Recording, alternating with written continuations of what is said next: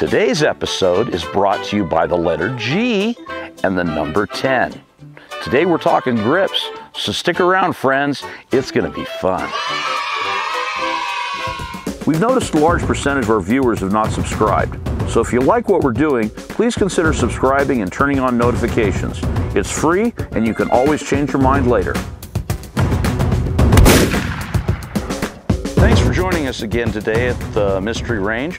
My name's Ed Thorell from SH007ER the Series, and today we want to spend a few minutes talking about the evolution of grips. But first I want to thank our subscribers for giving us good traction, and if you haven't already, hit that subscribe button along with the like and the share. So, like I said, today we're going to talk a little bit about the evolution of grips. And when we first started to get our first types of grips, um, wood was the standard. Now, wood grips are great, and when this gun came out, the checkering was nice and sharp.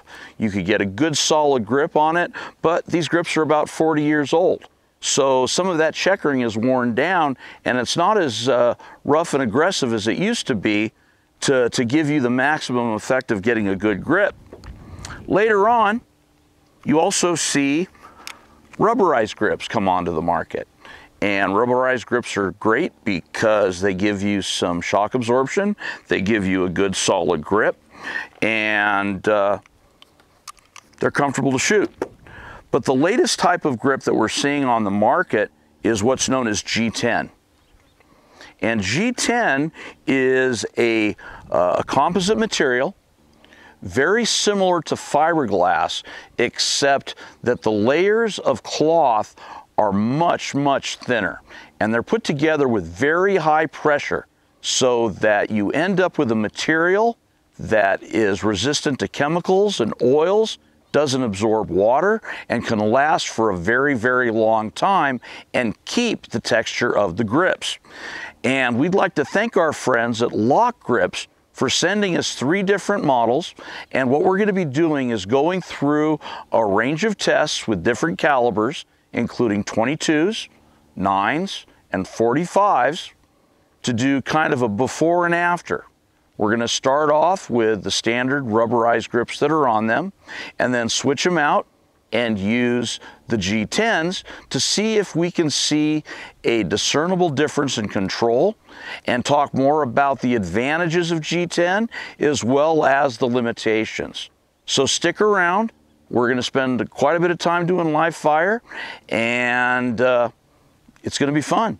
We're back, and we're going to start off today's uh, show and test with the Browning Buckmark Camper. And this comes with just some standard rubberized grips, which I'm a fan of. Anybody who's paying attention knows I like rubberized grips. But I'm not married to one idea, and if uh, I like the G10s better, well, the G10s might be the go-to. So anyway, we're going to put five rounds downrange. Range is hot.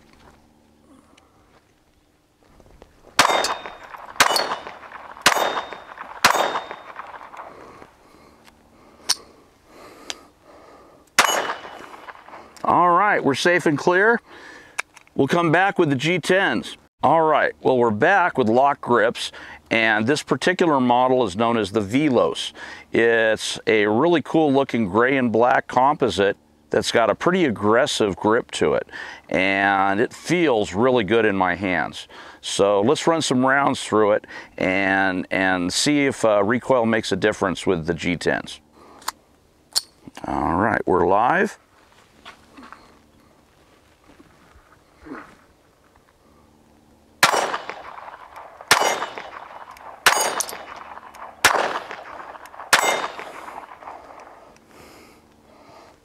Nice. I really like that. It's a nice surprise. I, I like the rubberized grips, but I really like the extra traction and the positive grip I get from the, the grips of the, v, the Veloce LOK grips. Um, I felt very little movement in my hands, so I'm, I'm pretty happy with these. Uh, stick around, we're gonna get into our next evolution uh, with the 9 mil. All right, next up, we're going to be shooting the CZ D model, also known as the PCR, and these come stock out of the box uh, with uh, hard rubberized grips.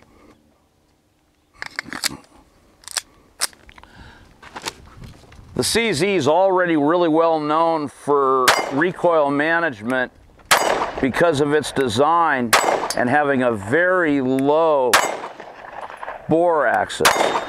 So the CZ's already got a great reputation for being easy to handle. We'll be right back and we're gonna do the same thing with the LOK G10 grips. All right, next up, these are the LOK grips known as the Matrix grip and these are also provided by LOK.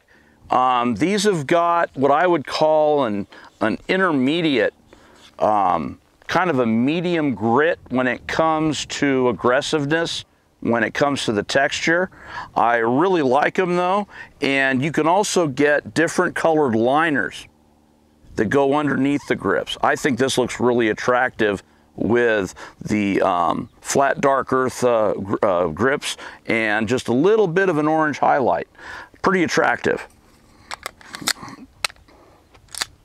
CZ makes a great pistol, just about perfect out of the box. Okay.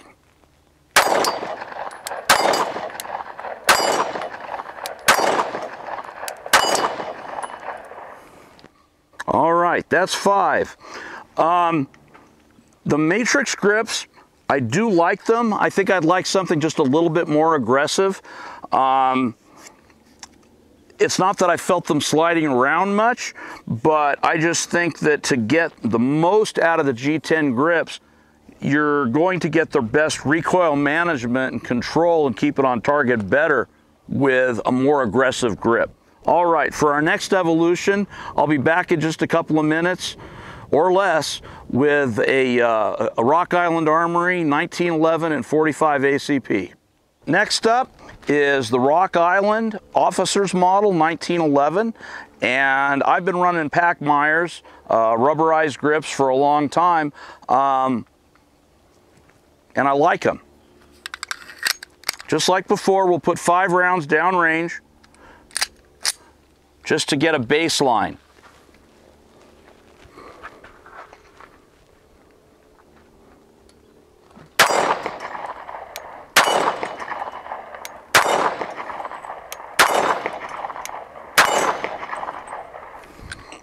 All right.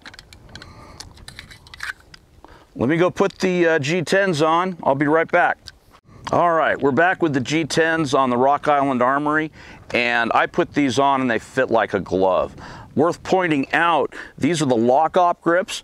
They have dimples right here where my fingers meet on the gun. They're almost like small dimples like you would have on a golf ball. And then the um, contours here are almost on a diagonal.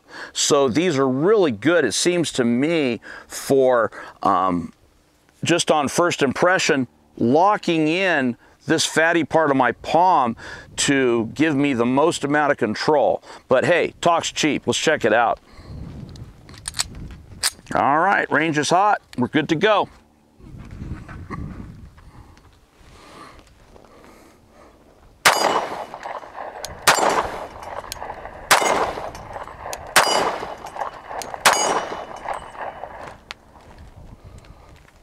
Kind of sad. I was just getting into that. Anyway, I'll tell you what. Um, I've been a big fan of rubber for many, many years, and today was a game changer for me. So um, I can't say enough good things about the LOK grips. I, I think the best benefits are going to be paid to experienced shooters that really know how to have a strong grip where you're going to have about 20% in your shooting hand and about 80% in your uh, uh, support hand.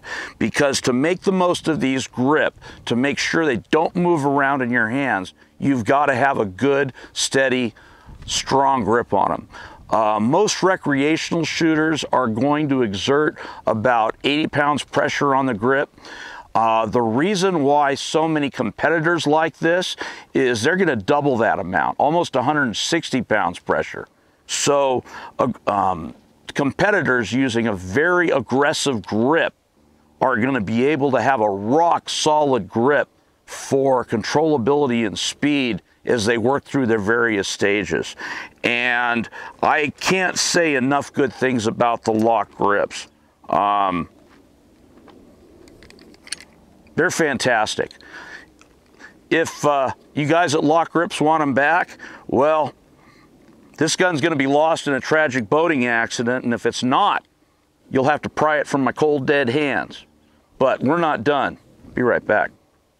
I felt a little ripped off only shooting five rounds out of this, and I feel like I was just getting warmed up. So, um, this is for me. Let's let freedom ring.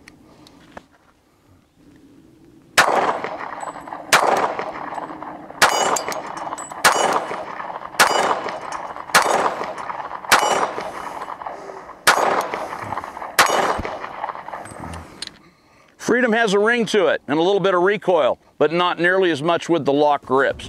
So to our friends out at LOK, thanks again. We really appreciate it. You're not getting these back. So I'm Ed Thorell from SH007ER the Series. We'd like to thank everybody for watching. Y'all take care.